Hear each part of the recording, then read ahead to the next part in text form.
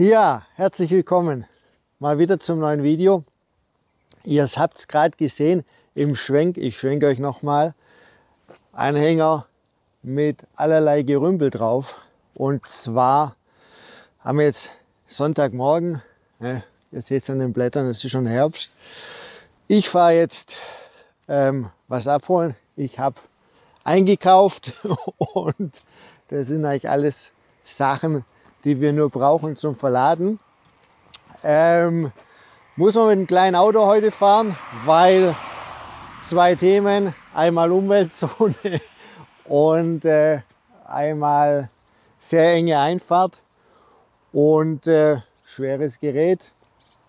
Aber das werden wir schon hinkriegen. Ist halt immer, immer gut, wenn man, wenn man alles, alles selber hat, finde ich jetzt persönlich. Ne? In dem Fall habe ich mir vor Jahren mal da gab es eigentlich auch ein Video, fällt mir gerade ein. Ähm, ich habe ja damals noch in der Einfahrt bei uns am äh, grünen Bus am T4 die Kupplung gewechselt und dazu habe ich mir, weil ich den Motor ausgebaut habe, dazu, ähm, weil mir das leichter erschien, weil in diesem Synchrogetriebe so eine Schraube ist, die ich nicht aufgekriegt habe und dann habe ich den Motor halt ausgebaut. Das war dann leichter letztendlich.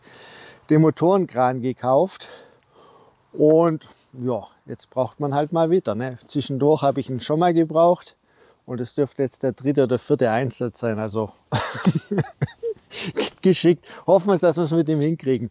Also, wir sehen uns später wieder oder morgen wieder. Müssen wir, müssen wir mal schauen, wie das so zeitlich alles vor sich geht. Und ja, bis gleich.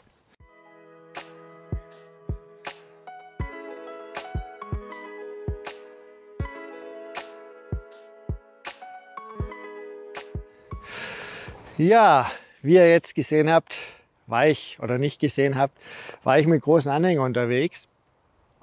Ähm, kleines Auto, großer Anhänger.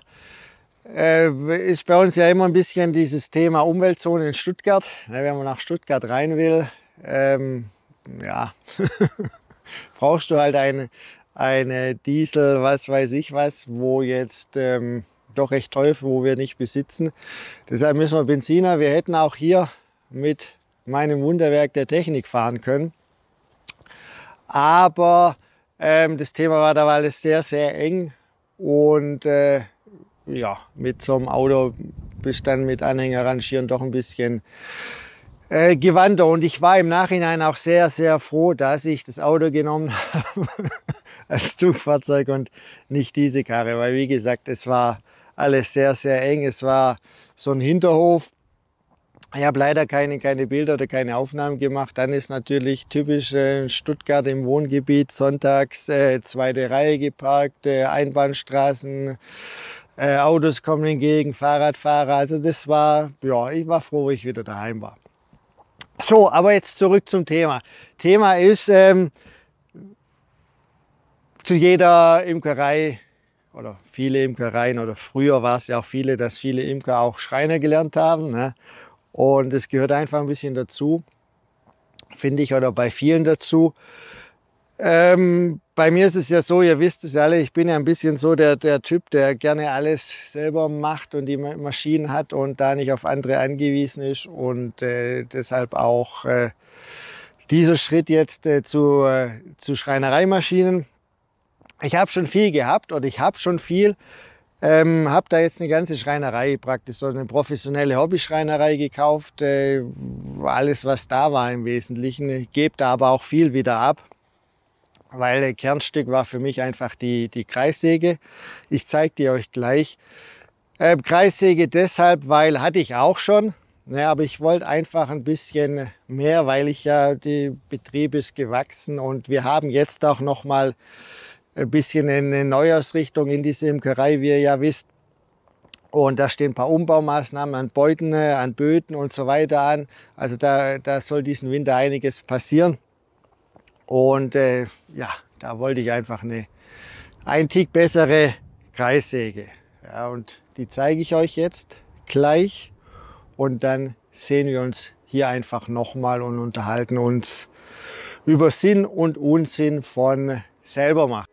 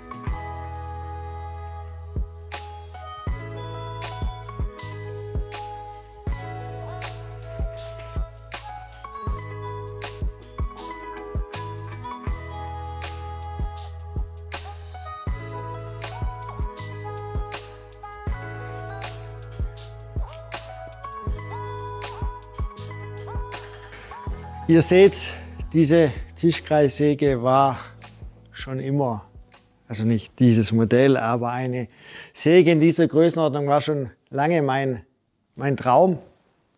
Ja, haben wir überhaupt Ton? Ja, war schon lange mein Wunsch, Gedenken, aber es ist halt relativ schwierig, sowas auch zu bekommen.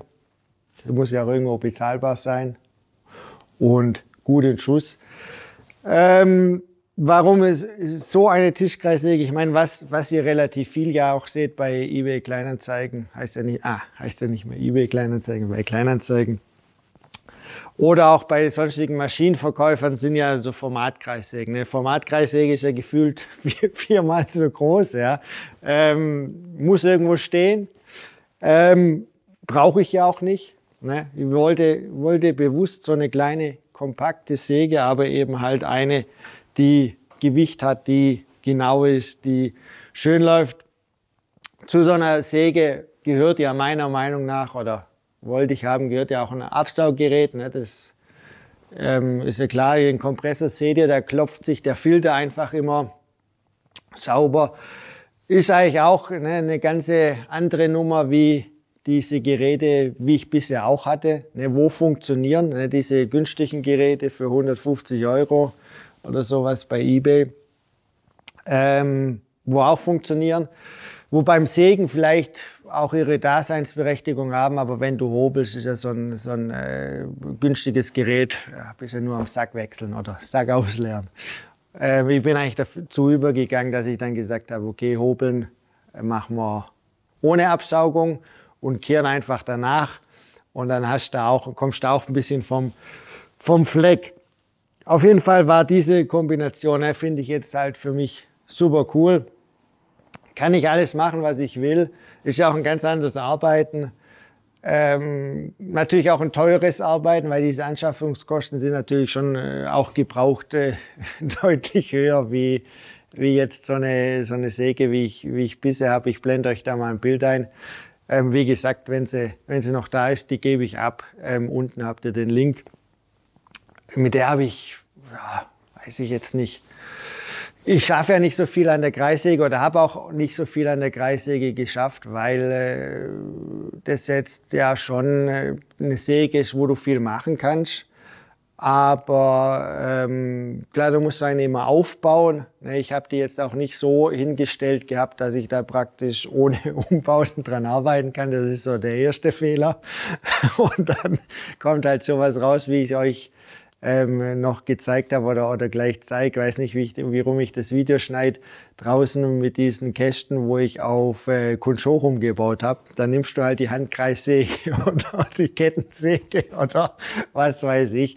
Aber jetzt so in dieser Kombination, in dieser Ecke jetzt hier, da kann die eigentlich ganz gut stehen. Man kann die auch ähm, relativ einfach verrutschen.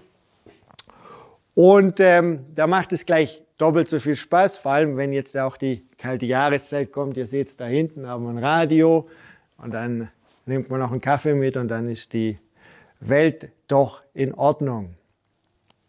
Habe euch jetzt mal hier so ein bisschen so einen Einblick gebracht. Was wir noch klären müssten, ist so ein bisschen, wo die Richtung hingeht, wohin unsere Imkerei umgebaut wird. Aber das machen wir in einem der nächsten Videos, da unterhalten wir uns da mal drüber. Ähm, wird es kein ganz radikaler Schnitt, ne, sondern wird so peu à peu. Man muss ja auch immer schauen, ob die Gedanken und Ziele, wo man verfolgt, ob das auch so funktioniert. Kurz in eigener Sache, keine Sorge, das Video geht sofort weiter. Wenn es euch gefällt, lasst mir einfach gerne einen Daumen nach oben da und jetzt geht es auch schon weiter. Ne? Ja, jetzt habt ihr das da gesehen. Ne? Ich denke, da kann man ganz zufrieden sein. Meine alte Tischkreissäge, Formatkreissäge, ich weiß nicht, wie das alles da heißt, äh, wie da die richtige Beschreibung ist. Also auch mit Schiebeschlitten und alles, wo ich auch sehr zufrieden war. Aber wie gesagt, weil ich ja relativ viel vorhab, ähm, wollte ich da ein bisschen Upgrade haben. Ähm, verkaufe ich, habe ich unten einen Link in der, in der Videobeschreibung äh, bei Kleinanzeigen. Also wenn sie noch da ist, könnt ihr da unten einfach nachschauen. Gutes Teil, aber wie gesagt, ich wollte mehr. Jetzt zum Thema. Ähm, sagen viele von euch, boah, cool, selber machen. Ne? Viele von euch werden sagen, ey, kauft doch einfach alles. Ist ein ganz schwieriges Thema. Ne? Also ich sag's euch ganz ehrlich, ich habe ja auch mal Beuten selber gebaut. Das hat sich damals für mich aber nur gelohnt. Da habe ich glaube 200 Stück oder 150 Stück, ich weiß es nicht mehr, nur gelohnt, weil ich über einen Kumpel von einem Kumpel wirklich zu einem ganz guten Preis an, an äh, das Holz gekommen bin. Da habe ich mir die gebaut und muss da sagen, damals äh, war ich noch jünger, hatte die Imkerei war kleiner, ne? man war so nach dem Studium auch weniger Geld. Damals war das schon ein Thema, wo ich gesagt habe, okay, das lohnt sich. Mittlerweile muss ich sagen, ist es für mich schwierig, wirtschaftlich sinnvoll ähm, komplette Beuten selber zu bauen. Ja, also mit Holzeinkauf, Schraubeneinkauf ähm, oder Zargen ne, tue, tue ich mich schon schwer. Ähm, wo ich jetzt sehe, ihr könnt mir das gerne mal in die Kommentare schreiben, wie da eure Meinung dazu ist. Ähm, klar muss man unterscheiden. Ne? Wenn ich Lust habe am, äh, am Schreinern, an Holzwerkstätten und das äh, für mich zur Imkerei dazugehört, dann äh, ist es natürlich auch mit einem gewissen Hobbyfaktor zu bewerten. Wenn man es jetzt nur wirtschaftlich sieht, tue ich mich da halt schwer. Ne? Wo ich jetzt äh, für mich den Sinn an der ganzen Sache einfach sehe, sind Umbauten, sind Modifikationen, sind vielleicht auch Sachen, die du so nicht von der Stange bekommst. Und das kann ich mir da oder habe ich mir schon immer eigentlich selber gemacht. Es sind ja meine Böden, ähm, würde ich mittlerweile auch vielleicht anders machen, aber meine Böden sind so, wie ich die mir erträumt habe. habe ich mittlerweile auch vielleicht ein bisschen andere Träume, aber das stellst jetzt auch nicht so einfach ähm, ohne große Not um. Funktioniert ja erstmal und funktioniert ja auch recht gut. Aber so so ist ein bisschen so, so mein Gedanke, wo ich sage, okay, diese Umbauten, Modifikationen, auch mal eine Kleinserie ne, für die Königinzuchten, irgendwelche Leisten, ne, also klein äh, brauche ich ja dann schon auch wieder mehr wie eins und mehr wie, ne, aber ihr wisst, wie ich meine. Und das ist einfach der Grund, wo ich die Wirtschaftlichkeit äh, bei der Eigenmechanisierung sehe. Ne? Klar muss man Lust drauf haben, man muss sich da auch reinfuchsen, man muss das auch wollen. Ähm, ich mache es halt lieber selber, ne, weil dann kann ich es machen, wann ich es will, wie ich es will und muss nicht irgendwo hinfahren, das in Auftrag geben. Gibt es ja auch Firmen, ne, wo, wo da auch so Kleinserien für einen fertigen, ohne Zweifel. Aber ich muss das besprechen, muss das zeichnen, muss warten, bis das kommt. Und äh, wenn ich die Zeit rechne, habe ich es halt auch selber gemacht sage ich jetzt so. Ne? Ja, so ist äh, da meine Meinung, aber wie gesagt, lasst uns das gerne in den Kommentaren nochmal aufgreifen. Wäre ich auch ein Thema, um mal mit dem Michael Graze drüber zu reden, wie das so ähm, der Beutenmarkt ist. Aber das schieben wir mal einfach mal nach hinten. Ne? wir werden ihn sicherlich bald wiedersehen, aber ähm, weiß ich jetzt nicht, ob das Beutenthema da schon relevant ist. Gut, was ihr auch seht im Hintergrund, ne, ist ein großer Gerümpelhaufen. Müssen wir auch noch aufräumen.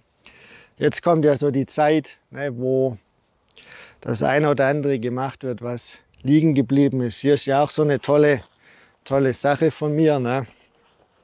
Dürft ihr euch nicht wundern. Habe ich alte, alte Zanderzargen auf Kunsthoch rumgebaut. Da stand im Prinzip die, die Kunstschwärme zum Einlogieren schon vor der Tür.